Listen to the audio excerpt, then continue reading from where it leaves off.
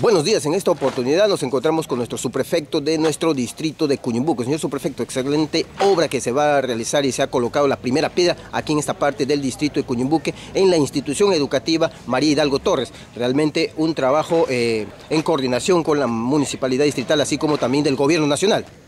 Bueno, primeramente agradecer a Dios por este hermoso clima que nos está dando para una primera puesta de primera piedra.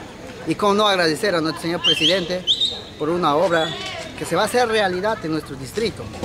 Una alegría para, la población, para los niños estudiantiles y mejora del distrito de Cuyumbuque. Yo sé que esta obra de gran envergadura va a traer trabajo también y bienestar para algunas familias de nuestros distritos. Muchísimas gracias, señor subprefecto. Muchísimas gracias a usted, señor periodista. Gracias por la entrevista.